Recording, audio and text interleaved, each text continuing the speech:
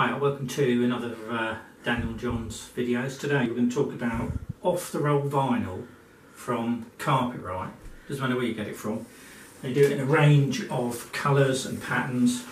They do a cheaper one for I think £10 something square metre. This was £11 a square metre. So we're in somebody's bathroom. They've asked us to tidy the floor up. We've just dropped a bit of vinyl for them. Um, I bought, it comes in 2.2 metre lengths and I bought a 7 foot by 7 foot.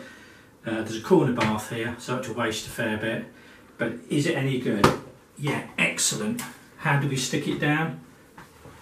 No nonsense spray adhesive from Screwfix, just a bit on, and this has gone on top of ceramic tiles that are cracked and you can't see the tiles underneath. There was no need to pay any uh, lay any um, underlay or board it out. This is just a quick job to pretty this up.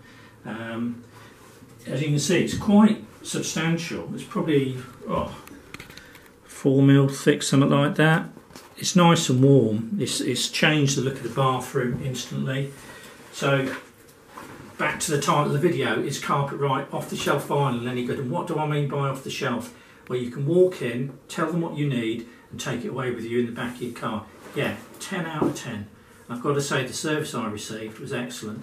You go to Carpetright, tell them John sent you, and who knows what you might sort of discount you might get. Anyway, if this has helped you smarten your floor up, can you help us and subscribe to our channel please? One more thing, you can lay in kitchens as well. Thank you.